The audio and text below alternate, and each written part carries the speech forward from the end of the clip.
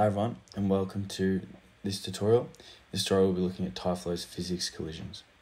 So as you can see we have our base map here and what we want to do is we want to start to create a geometry. So in this case we'll use a cylinder. We'll just create that to any size that you need and we'll rotate that 90 degrees and become a horizontal piece that something can connect to or wrap around in this example.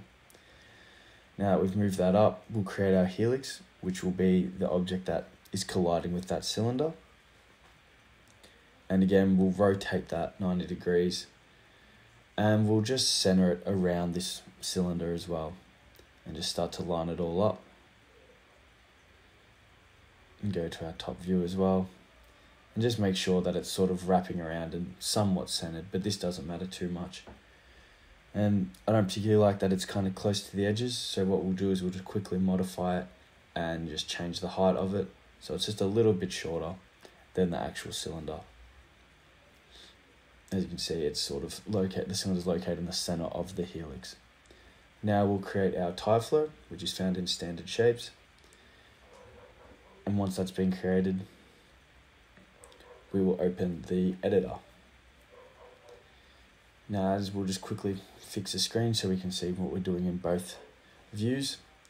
And for this example, we'll use birth spline. And we'll pick our spline, which will be the helix. And we have our dots. Instead of that, we'll create our own custom shape. And we'll change it to a 3D geometry. And we'll just use Geosphere low res in this case. And we'll change our display mode to geometry. And you can see they're quite spaced out and quite small. So what we might do is just increase their size. Uh, you can change the frequency there, but we'll use changing the scale and we'll change the scale to 200%. Just make them a little bit bigger. And we also want some more around as well. So we'll just change the percentage. You want them close, but not too close, but also not too far apart. So it's just a bit of playing around. But something like that will work quite well for this. So we'll leave it at 1.5%. And now from there, we'll add in our physics models. So we'll use PhysX shape and we'll change the hull mode because as you can see now that the spheres are just falling straight through. So we'll change our hull mode. Uh, could do mesh, but in this case, we're actually going to change it to compound, uh, to convex, sorry and then still as you can see it's still falling through. So we need our collision object. So we'll add in physx collision. And just drag that in underneath the physx shape.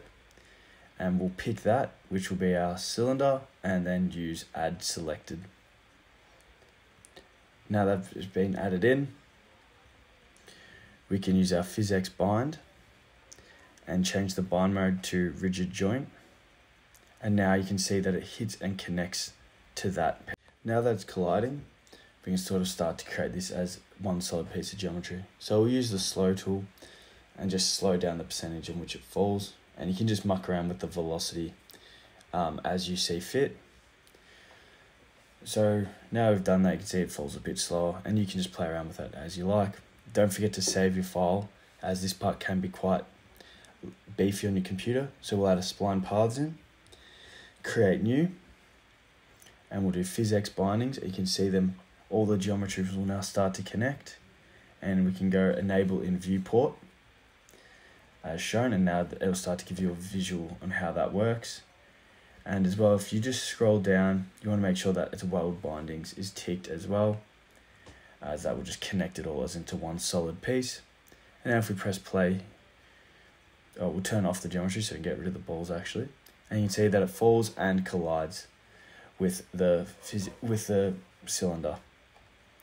So thank you for watching and I hope you found this tutorial helpful.